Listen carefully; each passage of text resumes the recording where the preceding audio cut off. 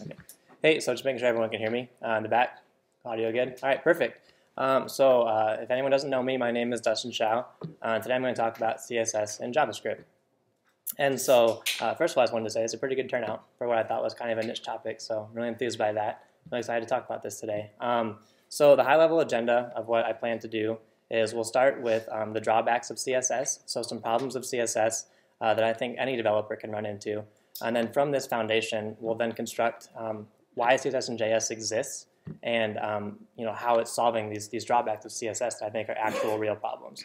Uh, along the way, we'll talk about some libraries that can instrument and uh, let you author in CSS and JavaScript, as well as some tooling.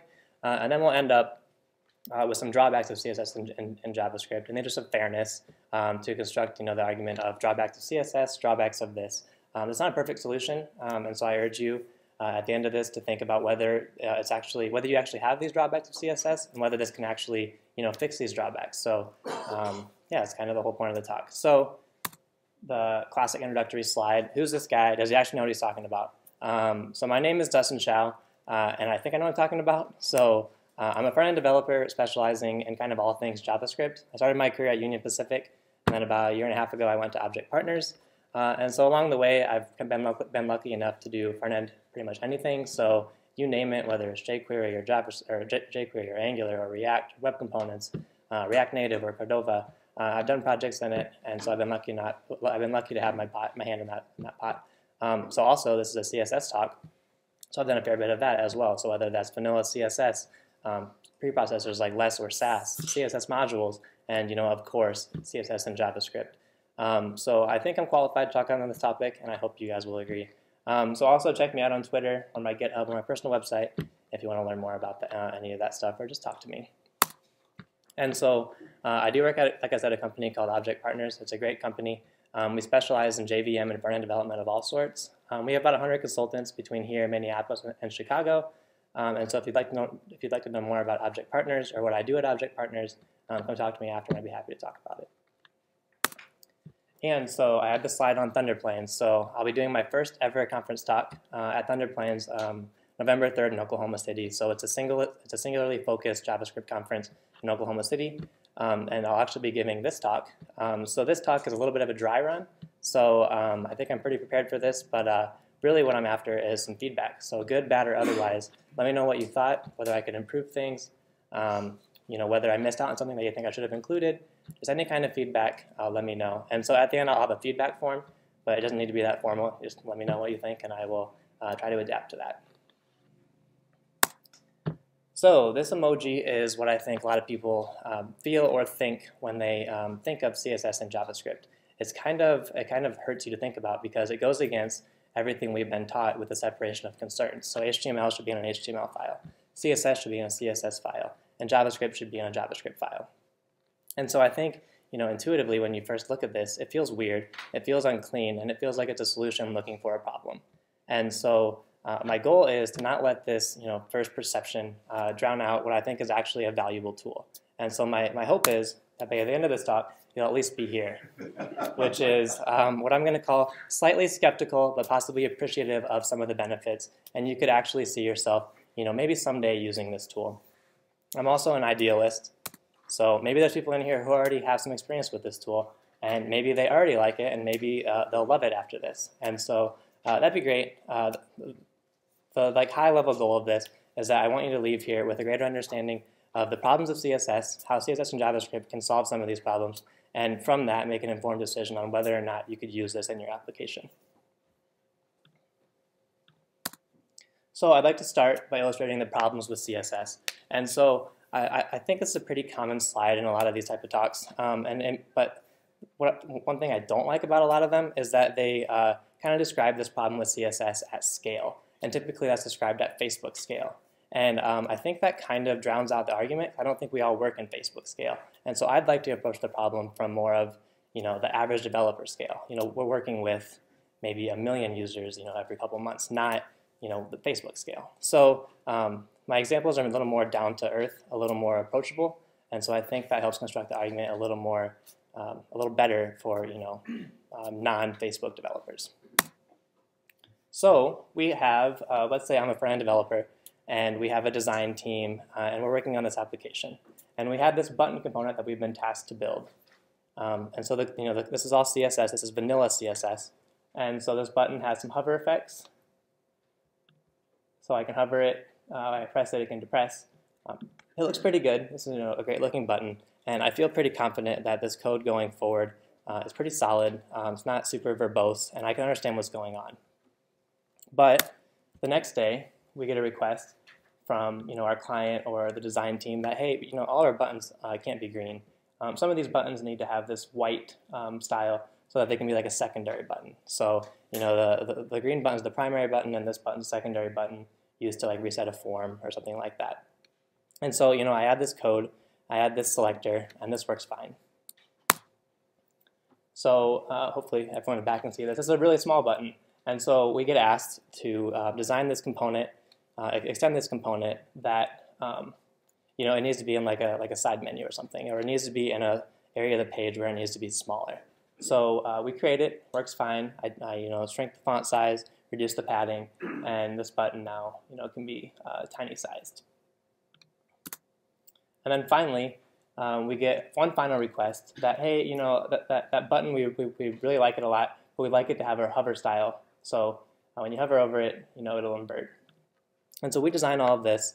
Um, you know, this all works great, except our clean CSS, you know, that initial base uh, of which we, you know, we were, we were really happy with our button because it was just this one singularly focused thing, is now polluted with all of these, which are actually in effect globals. So the secondary um, is a selector, it's a global. This tiny is a global. The secondary with a hover is a global What we've introduced globals into our code base, and anyone who you know has done JavaScript in particular knows that globals are kind of the enemy. And so there have been tools, you know, recent, semi-recently, like Webpack and Rollup, that lets you um, kind of rid your code base of globals in JavaScript. Um, and so uh, this isn't as easy to do in CSS because of the kind of deficiencies of these uh, global selectors. And so I can actually illustrate this. So if you're one, you know, one guy or girl and working on an application, you're the lone developer, um, you're going to understand, you know, what you've written. But if you're a second person coming onto the team in a couple months, you're not going to necessarily understand that, you know, there are all these classes. I don't, I'm not going to necessarily be able to go into all these components and figure out what each of them do. Um, so uh, I get tasked down down the road. Um, I guess someone else in the project gets tasked down the road to design a simple link uh, in the side menu um, Meta's link. And so they use the classes button and secondary. And when they uh, put it on the page, they're thinking, well, this isn't quite what I wanted. This looks like a button. Uh, it's because you know our globals that we defined for that button are kind of clashing, and they're using them when they didn't mean to.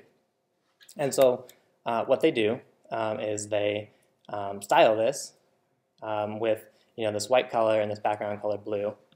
We click through. Oh, it doesn't actually update click through, uh, and then you know this actually works like we'd expect. But we're using important, you know, which is a big no-no in CSS. Uh, this is not great code, but it's working. And then you know we could ask for another another link um, that you know is slightly different style, but we need both of them to exist on the same page. So we tie in, we use this you know cascading style to uh, make the rule more specific, so that this rule will then win, and then we get you know our white our white background and blue text. So um, Globals, like I said, are the enemy. This, this applies to JavaScript and to CSS. Um, you don't want your code base to be full of globals, and CSS is really inherently global based. But I think a lot of you are probably thinking, well, um, you know that that's true, but there are a lot of ways to author your CSS um, and things like BEM. So this is called this is an authoring methodology called BEM. There's also atomic CSS, object-oriented CSS. A bunch of these exist, these naming strategies, to prevent you from uh, this, this kind of uh, global problem. And so if anyone's not familiar with BEM, basically what it is is the first part of the selector is the block, so in this case a form. The second part of the selector is the element, so in this case a submit button. And then the final one is a modifier, in this case like a state. So this would target um, a submit button in this form that's disabled. And so these methodologies, they, they do work. They, they do solve this global problem. But when I see code like that, I want to run away. Uh, it makes it, um, it's, it's, it, it, it, naming is a, a, notoriously hard problem. And when I have to think of this stuff while I'm writing my you know, uh, CSS, uh, it just introduces a cognitive overhead that I don't want to introduce into my mind. I want to focus on developing. So actually, this guy is running the wrong way. So other way, run away from it. Um, and so uh, there's a really applicable tweet by Kent C. Dodds, super smart guy, works at PayPal. He says, I don't use CSS and, and JS to be cool or hip. I use it because my brain is limited and CSS and JS automate stuff from my brain. And so this is really, I think, the, the kind of crux of the issue. Um, why, why use this, this things like BEMS, BEM and Atomic CSS when we can use this CSS and JS tooling to automate that, what is really an easy problem of you know, naming if we just automate it. Um, and so use this tooling to eliminate any of that cognitive overhead. And so CSS and JS, I think, really does solve this problem uh, of, the, of globals. So some of you also may have been thinking, well, there are these you know, newer uh, techniques um, called CSS modules and then Shadow DOM. So if anyone anyone's not familiar with CSS modules, it's really a um, build tie-in. It actually is CSS and JavaScript. So if you like CSS modules, I think you'll like some of this stuff as well. But um, using things like Webpack and uh, CSS Loader, um, you can uh, define what is local to your CSS and what is global to your CSS, and then you can generate a unique class name uh, based on that stuff. And so Shadow DOM is a staged aspect of web components um, that really layman's version description of it. Um, it kind of encapsulates um, your component and all of your global styles into a single subsection of the DOM. And so you can write global styles, but it won't impact a larger subset of the DOM. So Shadow DOM is really, really cool, except the browser support is not that great.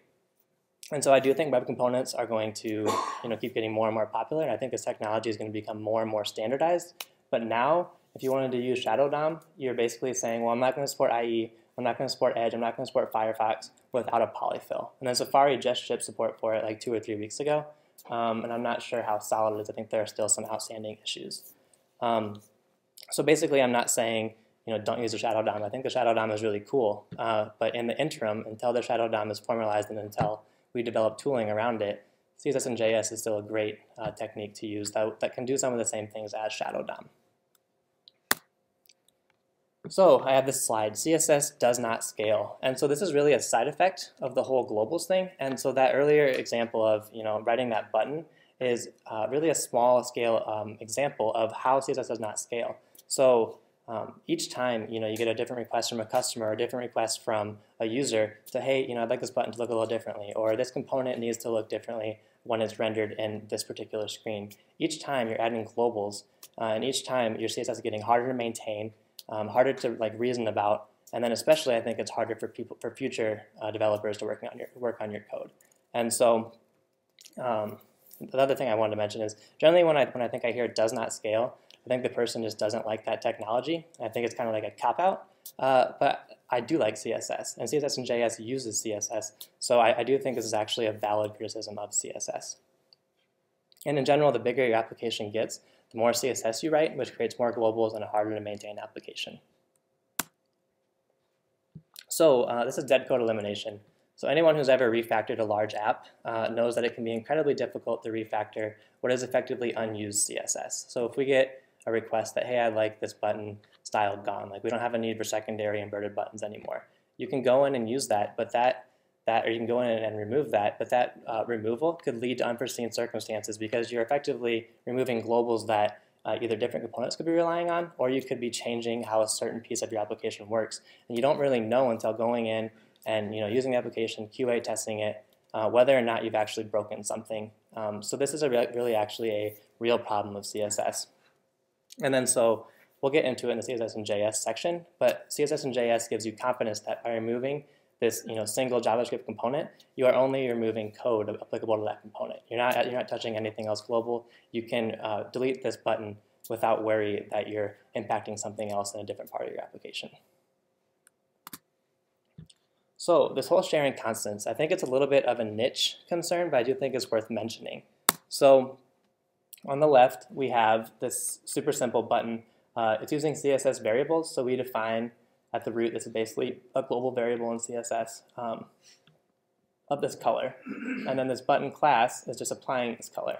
And then because for, for some reason, I think this actually does happen a lot, whether it's colors or breakpoints um, or you know padding, um, some kind of value you define in your CSS, you often want to also use that value in, in JavaScript.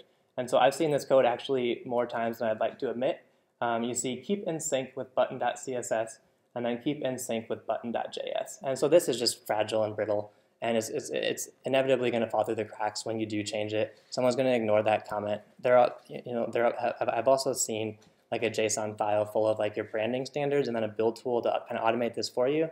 Uh, but what's nice about CSS and JavaScript is you don't have to use that. It's inherently baked in when you're writing your styles in JavaScript. And so uh, I'd, like to give credit where credit is due. Uh, a really smart guy at Facebook, uh, Christopher Chedeau, um, he illustrated a lot of these problems um, actually several years ago. And so a lot of these problems I've been talking about are actually right from you know his seven uh, issues. Uh, but this kind of does come down to the issue I was talking about where this is Facebook scale. And so each of these I don't think our college developers are going to run into at non-Facebook scale. But I, I do think it's interesting because this slide and really this whole presentation he gave was kind of formative to this whole CSS and JS uh, technique. And so at the end, um, you guys want to check it out, um, his talk is definitely worth watching because uh, like I said, it was formative to this whole um, technology. Okay, so I feel like I've kind of been railing on CSS. And so a quick little anecdote. Uh, early on in my career, I was in a meeting where I told someone that the solution idea uh, that they proposed wasn't good, and then I kind of gave like a one, two, three of why I didn't think it was good. And then this guy said, if you can't bring anything, anything to the table, then don't bring anything at all. And so I thought he was a total ass. And but I, I did take that kind of to heart. So there's not a lot of value in just criticizing something unless you're bringing something to the table. And so from this point forward, I'm not going to be too negative about CSS. CSS is great, um, and I just want to make it clear that um, if you're not having these problems, that's okay. Uh, I still think there is still value to this whole CSS and JS uh, technique. So very first slide, CSS is not broken. Anyone who says otherwise, I think, is probably biased or not really giving you the full picture. Um, so I want to be very clear here. If you haven't seen yourself running into any of these problems, uh, that's fine. Uh, if you leave here convinced, that's fine. CSS is not going anywhere. It'll still exist. It'll still be around. Um, and the other thing, it's not CSS and JS or CSS. CSS and JS uses CSS. So learning CSS and you know leveraging its rules is still valuable. You still will, will still always need CSS. Um, so definitely don't take from this talk that can't use CSS anymore, it's garbage and it's terrible. Not what I'm saying. Um, I think it has some drawbacks that CSS and JS can fix, and we'll talk about those in a bit.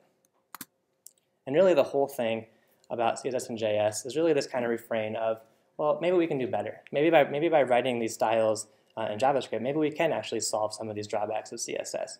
Maybe there's actually some validity to this practice, and maybe it can really improve the quality and maintainability of your styling solution to your apps and websites, etc. Maybe we'll see. So again, a kind of caveat. So this is a, guy, a quote uh, from Ben Lesh, who's a Googler. Uh, moving from storing my CSS, JavaScript, and HTML in different files to physically putting them on different drives. Keep those concerns separate. So clearly he's joking, but I, would like to you know, talk about this quote uh, because this, this is really the crux of the issue. Um, people are really um, tied to their separation of concerns because they have their HTML, they have their CSS, they have their JavaScript. They like that modularity that tools like Webpack have given them. And that is really cool. It is nice to have you know, each of those files separate. And it really goes against everything we've been taught, the kind of hyper-modularization that we've seen with Webpack. Um, it kind of makes this whole thing hard to you know, grasp at first. But I'd like to kind of have a caveat. Um, it's separation of concerns, not separation of technologies. So um, separation of concerns is obviously not the same as separation of technologies. When you're writing a component, you're writing intermingled CSS, JavaScript, and HTML the HTML and JavaScript link has kind of already been bridged. When we think about Angulars and Reacts and that kind of thing, you're taking JavaScript and writing it through you know this library or this framework to the HTML. The CSS is just another layer on top of that, and I think they're all three um, necessarily going to be some intermingling. And so if, if we can make that intermingling as clean as possible, that's a win for code clarity and maintainability, not a loss. And so this is a really, really great slide that I've seen recently in some of the CSS and JS people I follow. And so on the left is really separation of technologies. Um, when people see, you know, think, see this whole thing, they, they want this. But when you actually think of what a component is, it's really a blend and a gradient of all of these separate technologies. And you know, each of these together make a component. Um, they're not entirely siloed and separate, and that, that's really not doable all the time. And so also, just think of, I don't know if there's any Vue people in the audience, but Vue has this whole single file um, concept, as does what as do web components, where um, you have you know your style, you have your script, and then you have your template. And I, I, I think the kind of appeal of that is it kind of makes it clear that you know what these actually are linked, and there actually is some value in writing these all together. So we haven't even defined what it is. So you know, classically, let's start with what it's not. Um, so uh, CSS and JS is not, or at least not exclusively, inline styles. CSS and JavaScript at its best leverages CSS and the power of CSS. So this means the best parts of CSS that everyone likes, whether that's you know media queries and pseudo styles like hover and before and after, um, that those still exist and those still are usable. So when I see this um, described as you know a critique of CSS and JavaScript, I don't think it's a super valid critique because I don't think this is the best possible implementation of CSS and JavaScript. It is a implementation, but I don't think it's the best one. So no, not, not my favorite. So let's actually, you know, it's high time to actually begin talking about what it actually is and why it matters. So we'll go over some high-level goals of CSS and JavaScript as well as what it can do. Um, we'll also discuss in some detail uh, how it can solve some of these previously mentioned problems um, with CSS.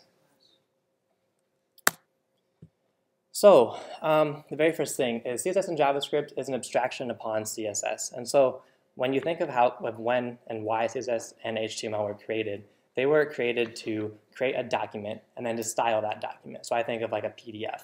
And so it makes sense that all these selectors are global because when you want to style an H1 in like a document, that makes sense that you'd want each of them to be styled the same way. Globals are actually good in that context. But you know, HTML is not necessarily a document anymore. Now it's an application. Now you can do, do progressive web apps. You can do all kinds of things. And so I think CSS and JavaScript ab abstract style to the component level.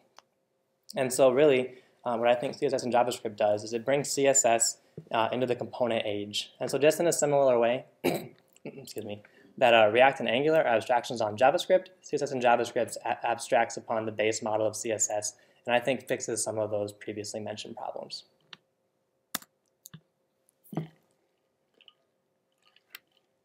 So it's also true encapsulation. And so uh, how it actually does this technically is it creates a hash based on what you've given it. And I'll show you some real codes that makes a lot more sense.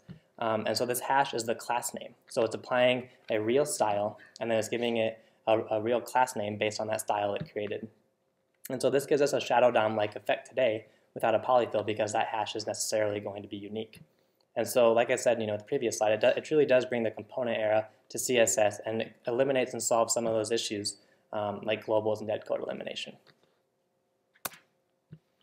It's also a more powerful CSS. So by, by just simple virtue of using JavaScript, you can do things like assigning and you can use objects and um, you can really extend uh, your CSS to be um, really what you want it to be with JavaScript. And I'm not saying it's teaching it new rules. That's not what CSS and JavaScript is, but it's authoring you know, your rules in JavaScript. And so that also allows for things like full sharing of constants. So useful for, for breakpoints and colors and anything that you might want to use in your JavaScript.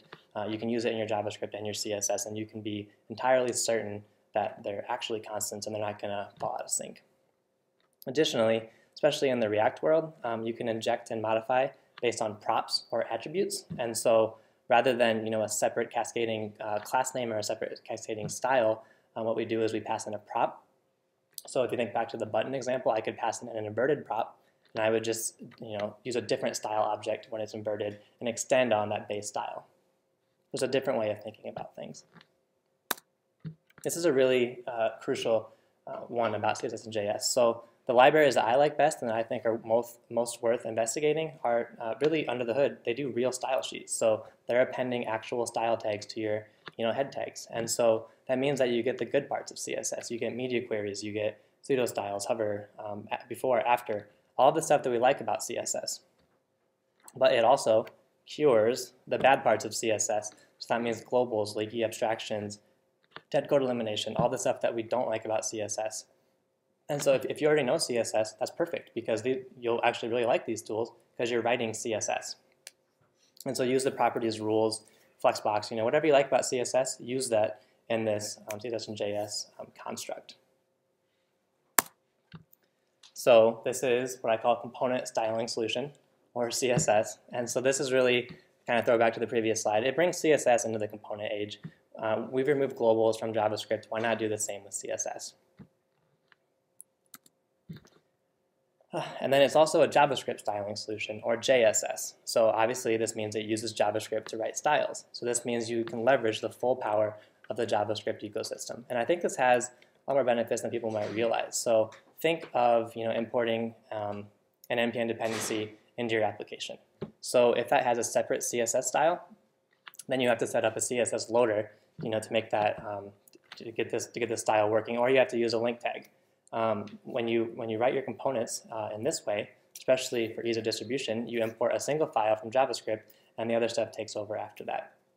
So it's easy to use, distribute, uh, load with a module bundler of choice. And I'm not going to get into a ton of detail on this, um, but uh, I think a really interesting space is when you abstract. So think of like React Native. And so a lot of these libraries I'm talking about also have native analogs. So you're writing what appears like CSS, but under the hood, because they're using CSS and JavaScript, you're writing what looks like CSS and it's translating it to actual native CSS-like code. So I think that's a really exciting area to keep an eye on.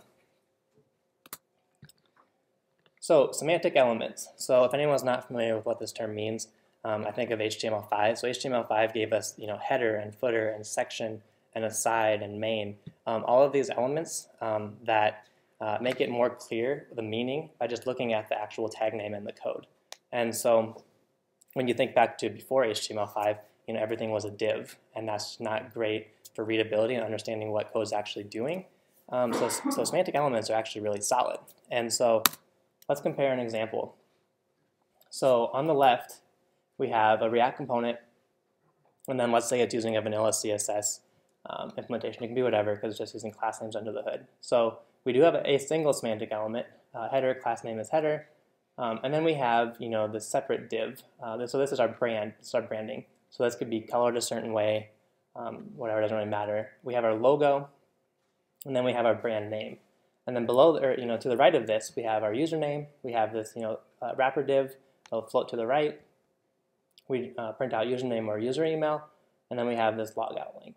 And so when you look at the same code written in CSS and JS, it's you know fully semantic. So we have the styled header we have our brand or branding. Um, we have our user welcome, we have our username, and we have our logout link. At a glance, you can quickly see that this code is a, a lot clearer, you know, what it's actually intending to do based on this tag name. So this is really a benefit to React and to CSS and JS, but I think it's worth pointing out. And so I really like this slide because it's really the mental model that you have to have when you're developing CSS. So this is the CSS side versus when you're developing um, CSS and JavaScript. So I have HTML and I need to give it some class names. Let's think of those, you know, the button and then secondary.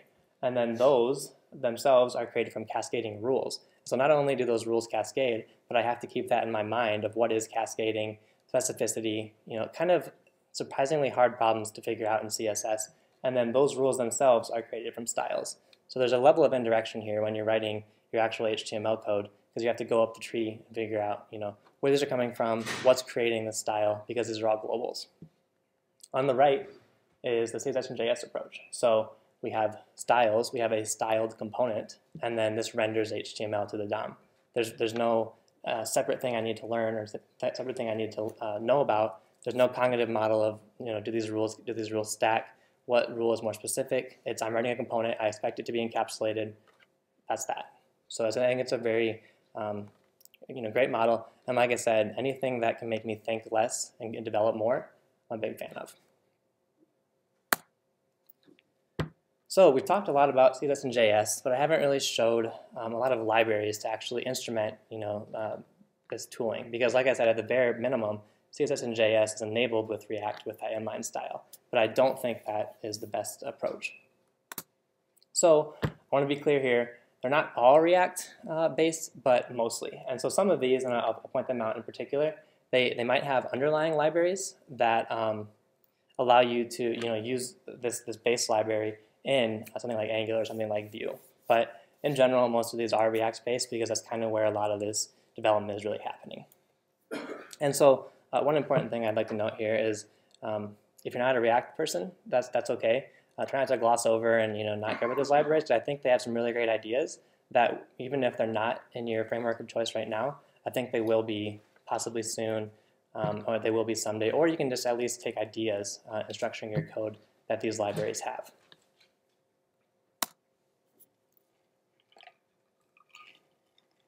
So style components is what I call the gateway drug to CSS and JavaScript libraries.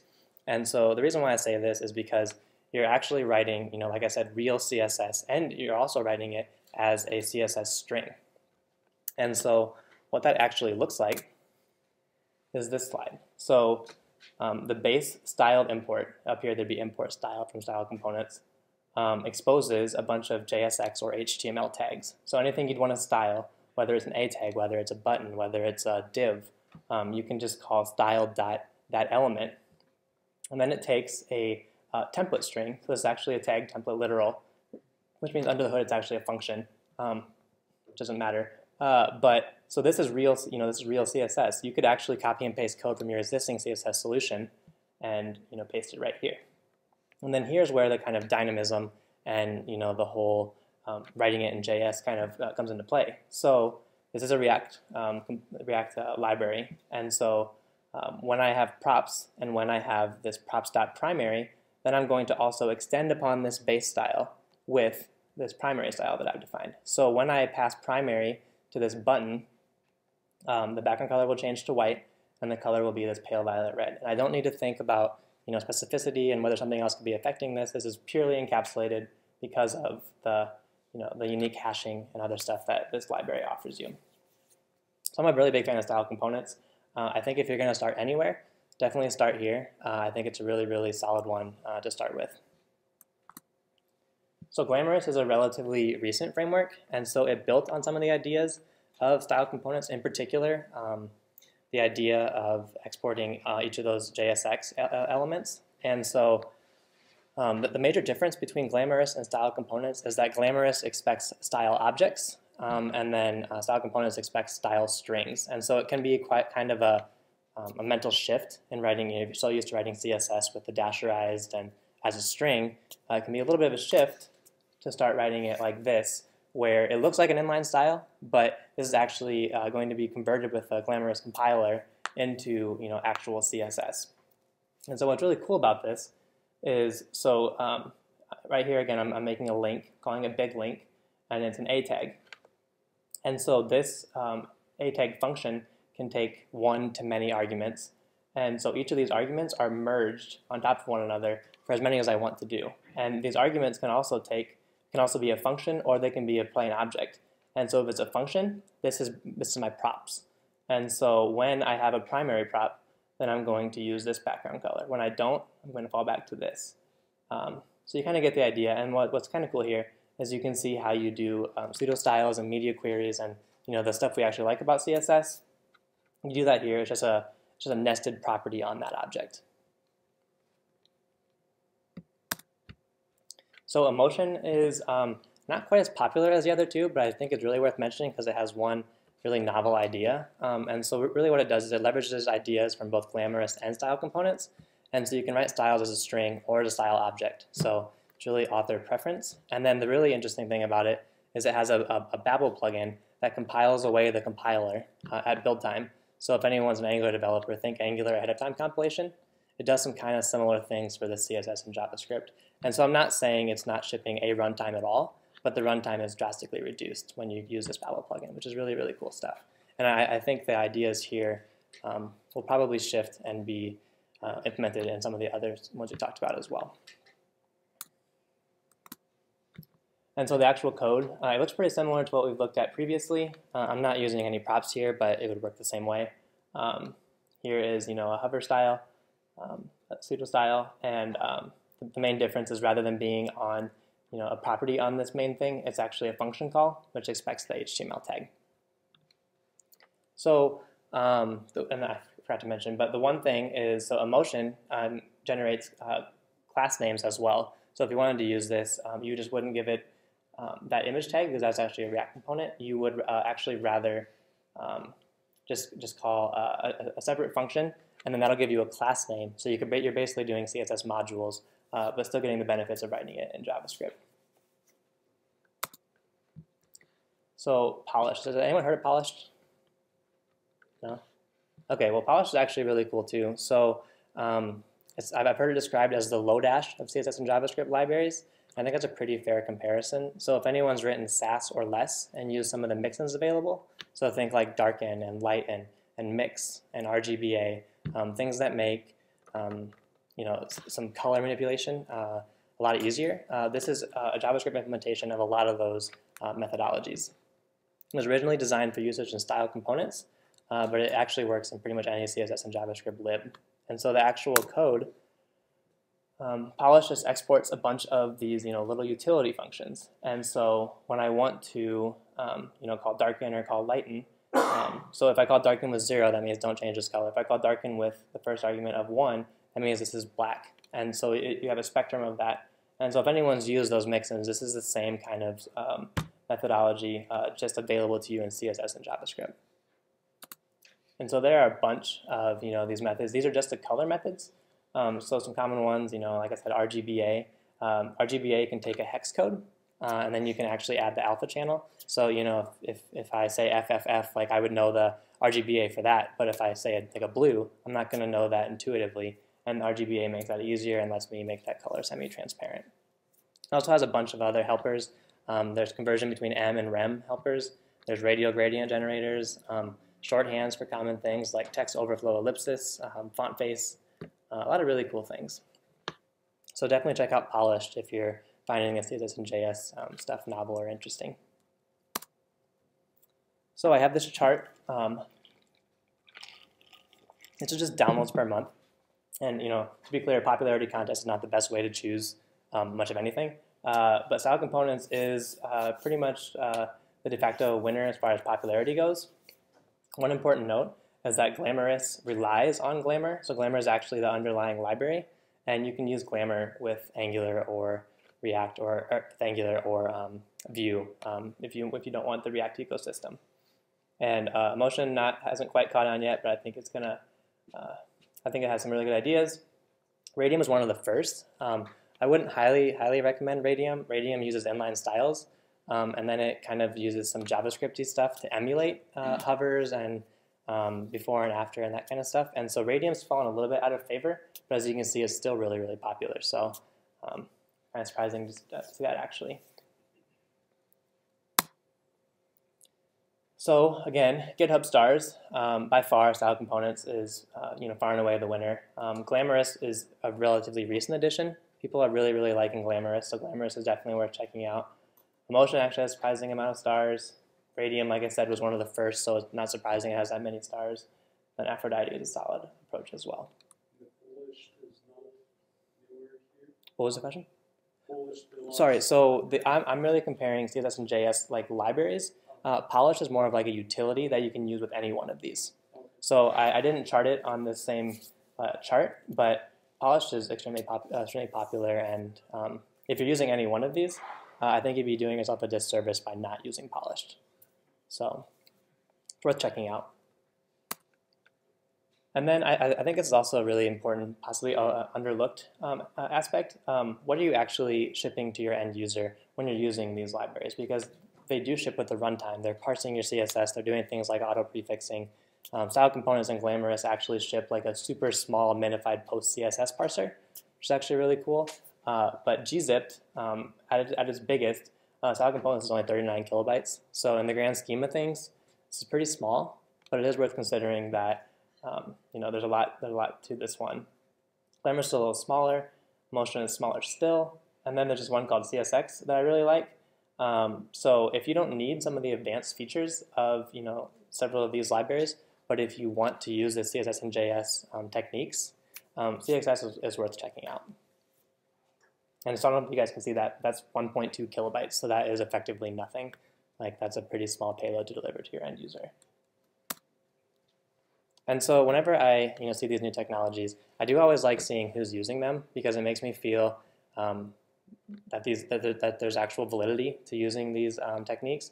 And so minimally, these are the ones that were on styled components um, and that, that, use styled components, and one of them uses Glamorous.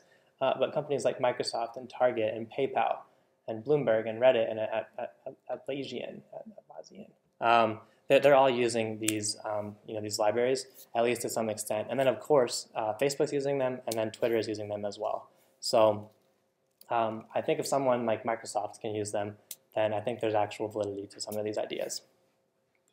Yeah, but Microsoft is a big place. Yeah, true. Okay, maybe- But- Maybe some small out of the way. Yeah, I mean, I mean, I don't, I don't know whether it's one guy at Microsoft using it somewhere or whether it's you know 50% of Microsoft. I, it's hard to know. Um, so I can say Twitter. Twitter used it for their Twitter Progressive Web App. So their web app they shipped to mobile um, is written with with one of these CSS and JS libraries. So I can't speak to what Microsoft uses because you know this is just on like one of the library's sites. Like here's who uses us. But um, so that's a good point. Yeah, I don't know what the extent of the usage is, but worth considering. So actual real world, real world world usage. I wanted to give each of you a feel for what it feels like actually writing code in each of these libraries. So doing some common things like theming, um, using props, um, composing or extending your components, um, things that you'll actually be doing when you're developing a, a real application. And so I'm not endorsing any particular library. Um, I just wanted to show each of them, um, you know, doing some real world, real world stuff. And so again, nearly all of these examples are React based, uh, but underlying ideas could be used in other libraries or frameworks. So I've kind of already given you a hint at what this looks like, but this is styled components. And so we have this container. It is a main element, so a semantic HTML5 element. Uh, we have a background color, and then when we pass in padding, we'll use that value. If padding is not passed in, then we'll just default to zero. And then likewise, we have this button. This is actually a really simplified example of that earlier button I showed you. And so uh, by default, it's going to be have a blue background and then a white um, text color. And then when inverted is passed, then it's going to swap those out pretty much and then apply these styles instead.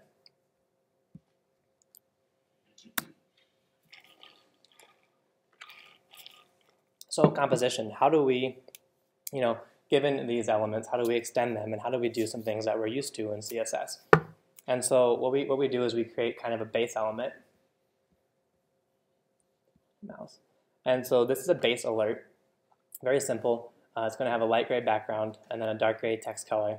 And then we can extend upon this. And so if we just, rather than calling glamorous with a div or you know whatever H, uh, HTML tag, if we call it with an element, it'll extend upon this alert, apply these styles, and then anything that is uh, overrides will be, um, you know, we'll take the ones we passed in, and um, anything that already exists and that I don't override will ex still exist in this component. So let's say I had another property, um, font size bold, that would exist in this as well as the colors, the properties we've overridden. So it's, it's basically cascading, it's um, uh, inheriting from the previous component. So again, I just wanted to drive home the point, the point that this is real CSS. So again, it's a style of components, and so I'm I'm doing things like pseudo hover styles. I'm using media queries, and these will all work just like I'd expect. There's no magic here. This is you know real CSS injected into a real style tag. So I think that's really cool. Um, and yeah, if you like CSS, you'll like styled components. So one uh, really interesting thing that I hadn't really considered before putting this presentation together is what about keyframes? So keyframes are inherently um, a global. When you create a, a, keyframe animation, you're saying like uh, keyframe this name, and then later you're going to use that name um, in your animation property. And so styled components, um, emotion, glamorous, they all contain these little helpers. Uh, so this keyframes function, and so I can generate this keyframe. Uh, it'll generate a unique animation name for me, and then I can then use that in my code. So this avoids that, sidesteps that problem of globals and uh, gives us the, the same kind of technique we like for you know, our components for our animations as well. So this is a really interesting point. So styled components, glamorous, um, emotion, pretty much all the ones I've been mentioning, what they do is they kind of paint a component with a class name. So they add their unique class name and then that's where those styles come from. So if you're designing a component library, or if you possibly think that your component could be used by someone who wants to use CSS and JavaScript, the best advice I can give is if you're, if you're using React, um, expose a class name property and then apply that to your element. So really here, if you're writing a non-CSS and JS um, component, you would take this class name and then you would add what you're already using for your existing class name, if that makes sense. And so um, also if you're wrapping your components, so um, you know if there's if your style component is one level deep and you're just using a simple wrapper, um, you still want to pass that class name down to that style component, and then you can still extend upon um, using any of these libraries. So this is also a common question. How do I use an external library that isn't written in CSS and JS? And so uh, one really cool technique is um, in Glamorous, also in styled components. And so uh, if anyone's familiar with Bootstrap, Bootstrap you know likes a lot of CSS classes. And so to get an alert, you use alert, and then you uh, do alert dash, and then the type of the alert. And so in Glamorous, we can make this a styled component, and then we can actually call it with type equals success, and then this will, under the hood, make the class name alert space alert dash success. And so that'll actually render to a bootstrap alert under the hood. Same thing as styled components. Uh, the API is a little bit different, but it's really doing the same thing. We are taking uh, props, um, we're doing alert, and then alert dash whatever we pass in, and then we default to info. And then what's kind of cool is I'm also showing how you can extend upon that too. So um, uh, you can add you know this, this style um, to any of these bootstrap alerts. So theming is a common concern uh, and actually can be kind of hard for CSS. Um, it can be kind of hard to maintain these two separate, um, you know, entirely different themes. And CSS and JS libraries generally expose what's called a theme provider, which then makes um, your kind of base JavaScript object, uh, so your rules and colors, your paddings, your kind of uh, underlying style, uh, available to these components. And it's super easy to make, you know, a light dark uh, variant, for example. Um, any kind of styling, you know, theming that you want to do it's really actually really easy in these libraries. So this is the first part of it. We have our theme. Our theme is just a JavaScript object. Um, so we define some things like background and text um, for light and then dark, and then we define what our current theme is. And so obviously there'd be more than background and, and text. There'd be padding and you know whatever else. Um, and then in our actual component, um, when we use this theme provider, this property theme is injected, and then we can actually use this to get what's currently defined. And so this is a really you know slick and uh, easy way to theme your components. And how, how the actual underlying code looks, um, at, the, at your root level, you use this theme provider, you pass it a theme, and then any um, components inside of this will have access to that theme prop. It'll be injected for you automatically. So, in the interest of fairness, uh, there are definitely some drawbacks I think that are worth considering. And so I'd like to uh, highlight a few of them. So the, the first and probably most important one, um, this uses JavaScript. So um, if, if your users don't have JavaScript enabled, which is 0.2%, um, that number is kind of hard to find, but I think it's somewhere around there. Um, I cited my source. Um, what what do you do? You can't you can't show them an entirely unstyled component, and so uh, this is kind of where progressive enhancement and this kind of clash a little bit. And so what what, what I think you can do is um, you can mitigate by either statically rendering um, your React components, uh, or you can server-side render uh, and ship down um, the, a, a, minimal payload, you know, kind of like a starter page, and then you can let React take over and then style as needed. And so 0.2% um, to me is not like a huge uh, number, but if your Facebook scale are driving a lot of traffic, it could be a concern. So um, if you have a million monthly users, that means 2,000 users may not be getting a usable site uh, the beginning an unstyled site. So this is something worth considering uh, when you're approaching these libraries. This is a quote from Rich Harris. He's a really smart guy. He wrote Svelte and uh, Rollup. If anyone's familiar with those um, tools and libraries, uh, he says, uh, rest in peace, readable class names murdered by CSS and JavaScript. Another nail in the coffin of the scrapable, view sourceable web. And so I hope you guys can actually see um, nope that uh, class names, well, they're, they're a unique hash, which is good, um, you know, when we're, when we're, thinking of eliminating globals. But when you're going in, you know, in uh, your production build, and you're trying to figure out, well, what is this element? Uh, it can be a little bit hard. And so there are ways you can, you can use both, you can use any of these libraries to append not only that unique class, but also a semantic class. So that's a kind of best practice I'd recommend doing. Uh, Twitter clearly hasn't done it, but I'd probably personally do it myself. And so this is also a really uh, common complaint levied at CSS and JavaScript, and this is really editor tooling. Um, so editor tooling hasn't quite caught up, and this is fair, of writing CSS and JavaScript like it has for writing CSS in CSS. So you know CSS has been around for however many years, and this you know technology is just two or three years old. And so editor tooling, like on the left, when I'm writing a glamorous style object, when I write color, it's giving me you know global JavaScript um, uh, auto completion rather than you know when I'm writing color under a main in an actual CSS file, it's going to give me color. And then you know when I go in and I want the actual property, you know it'd give me hex codes or whatever.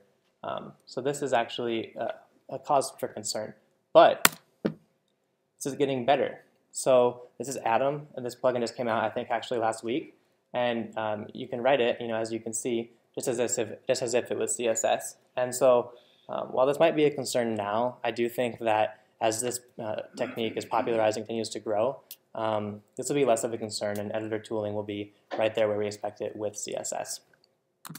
Again, so this is actually one of the creators of styled components. If anyone is a WebStorm person, um, they just are working on integrating support styled components. Um, uh, they have a pull request. Uh, this was just like last week. It might have been merged in. It could actually support styled components out of the box with WebStorm.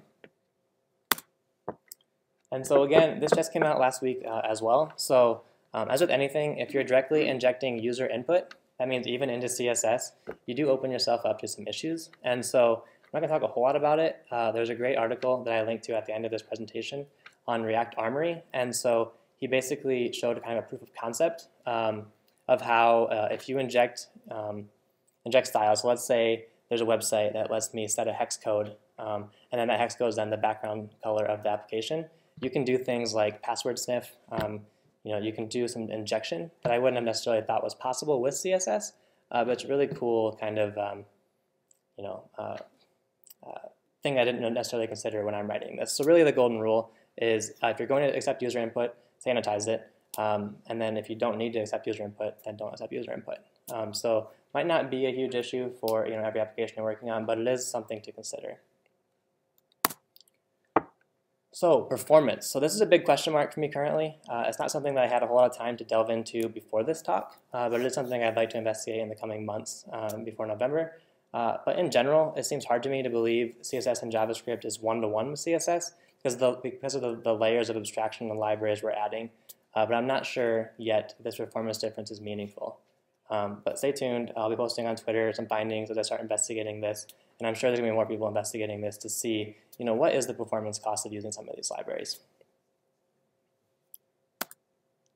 So uh, wrap up. I mean, what do we make of all this? Um, CSS and JavaScript, for me, and I think for a lot of others, it solves those very real problems of CSS. Those drawbacks that I highlighted at the beginning, CSS and JavaScript can solve those, and I think, and what I think is a really clean way. Um, and it, it, it, does so in in a pretty much developer-friendly way, a way that, um, you know, uh, I don't need to think about all these problems I'm writing CSS. They're handling it for me with this tool. Um, performance may be a concern, as is reliance on JavaScript. Um, so if that's your foremost concern when you're writing this, um, definitely investigate that before you go today and start writing CSS and JS stuff. Um, but overall, I feel pretty confident about a lot of this stuff. I think this is some really, really cool stuff. I think it fixes some valid concerns of CSS, and I'm really excited of where we're going um, with a lot of this stuff. Uh, and then so, you know, if I were to start a new project today, uh, I'd author it using one of these libraries. Um, I, I, think it's really I think it's really great. It's a really great developer experience. It solves some of the problems, like I said, that I've experienced, and um, I think it's just it's a really you know great a great new technology. So I do have a demo. Um, I built this little tool that I call CSS and JS Playground, and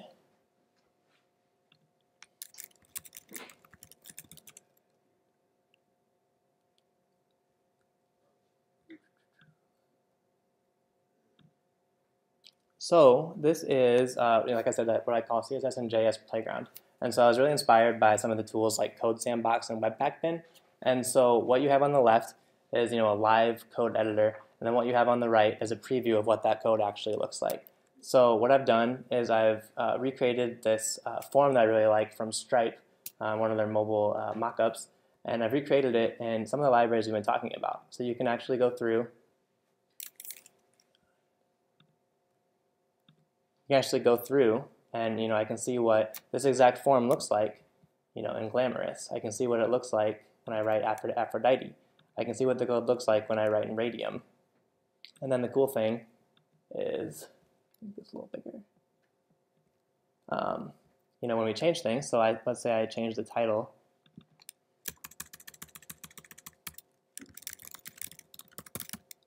It updates, you know, live as I'm typing, which is pretty cool. Um, and then I'm, you know, highlighting some of the cool things about CSS and JavaScript. Uh, this form becomes enabled and change color um, when the, you know, when the, the fields are valid and that are required. So I think it's a really cool thing. Um, definitely come check this out if you're interested in these technologies. Um, I have links to it at the end. Um, uh, but yeah, I'm, I'm, really proud of this. I think it's pretty cool. Um, so yeah, definitely take a look. And oh. So um, you know the whole standing on the shoulder of giants. Uh, these were all really good presentations and talks that I uh, watched or read or whatever uh, making this um, presentation. So uh, if you find this stuff interesting, definitely come back to the slideshow and ch uh, check out some of these links. They're definitely worth looking at. Um, you know, like I said, I have my playground links and then the repo for this slide deck. And uh, with that said, do, does anyone have any questions? Yeah? So uh, first, full disclaimer, I consider myself very much a, a, a novice uh, JavaScript programmer. Mm. Um, I love the idea. I'm fully on board with it. I've attempted to, to do some on my own um, CSS and JS. Mm. Um, I found myself, however, creating a few globals in there. So you brought up, uh, I guess, headers as an example. Mm should I try to cure myself of that coding completely, or is there a so, use case where you maybe mix and match? Are, are you kind of saying that you like some kind of like reusable snippets that you could then use, um, or is there? Maybe I have some common theming, you know, across the board. So in general, I want most buttons to look like this, but when I'm mm-hmm. developing my components, I may have specific use case scenarios where mm-hmm. I'm going to specify very in a declarative fashion. Mm-hmm. Here's what the style should be for the buttons within this component. Okay, yeah. So how, I guess how I would handle that is you might use that theme provider, and so you have this base theme that kind of establishes, you know, your kind of branding guidelines for your application, and then um, you know you might have a custom button that shows that composability I showed. So you take this button and then you kind of ignore the theme, and then you extend it how you want.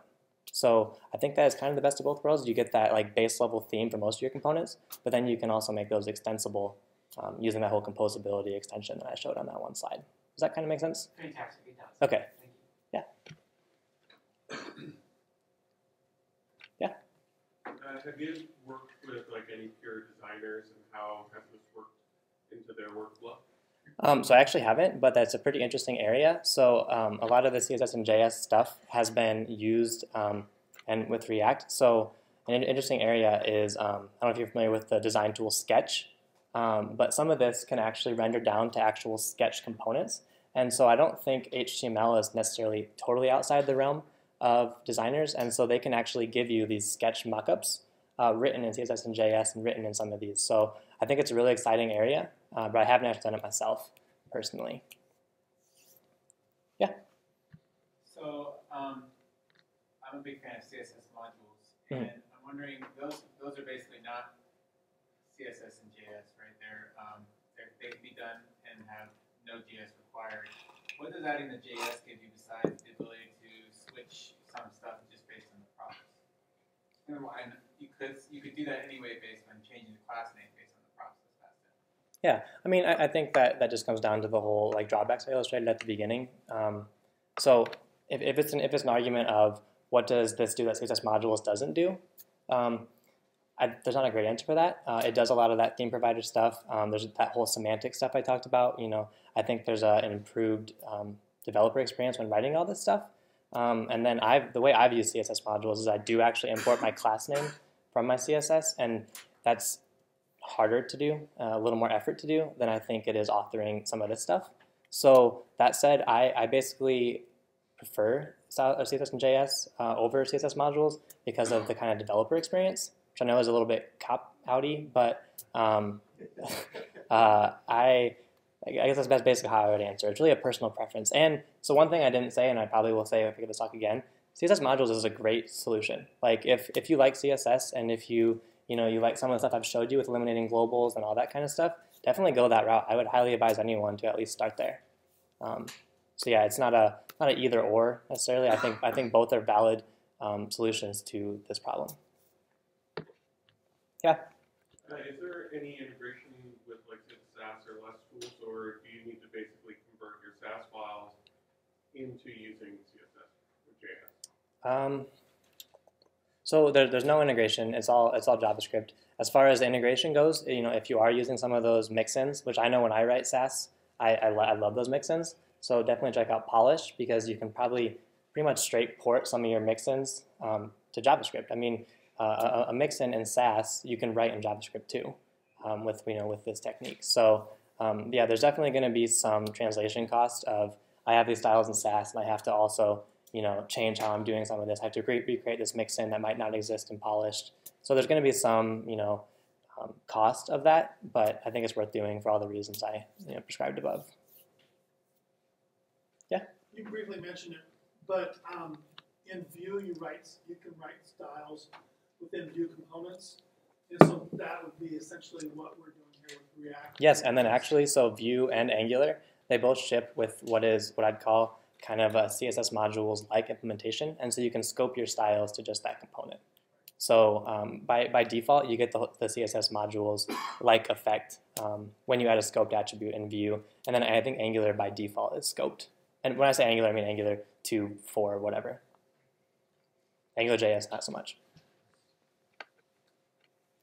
So do you have, if you say s- you've got, you build out a bunch of components in React, but then somebody else needs to say similar styling components, but in a different framework Mhm. And granted, like, transferring that over is not gonna be a one-to-one regardless, but do you lose some transportability? Or is, what is a transportability? I'm trying not to pass. Yeah. Um, so, I mean, you you definitely lose some of that um, because yeah, you are you are architecting your you know like I said your styles in JavaScript. Um, the one the, I, I thought someone might ask this, and so um, what I would say is the styled components approach of where its actual you know CSS is what it is authored as. So I think that would be the easiest one if you're uh, worried that you know you know we use React now. I think it's kind of the um, getting a lot of popularity. What are we going to use in a year or two? And so if that's a if, if that's a concern for you, um, then styled components might be a solid option, as would you know vanilla CSS with CSS modules, uh, if that's a real big concern for you. Is anybody, um, working to maybe try and bridge that gap from a CSS in JS perspective? Um, I'm not really sure about that one. I have to get back to you. Um, yeah, uh, feel free to like ping me on Twitter, and I, I might uh, like look up an answer for that. I'm not sure offhand. Yep. Okay. Um, so the also re- re- uh, requisite thanks slide, uh, T Hanks. Um, so uh, like I said, uh, everyone here, I really appreciate everyone coming. Um, if you have any feedback, uh, I'll be I'll be doing the whole. Where are we going? Uh, DJ, DJ dugout? No, not not DJs. Wherever we're going, the bar. uh, I will be there. Come come talk to me. Uh, let me know what you thought of it. And then um, I do have a feedback form. So if, if, if, if anyone's against this, I won't email this out. Uh, but any feedback you guys have, um, I would really appreciate if you can uh, let me know. So uh, thank you. Really appreciate it.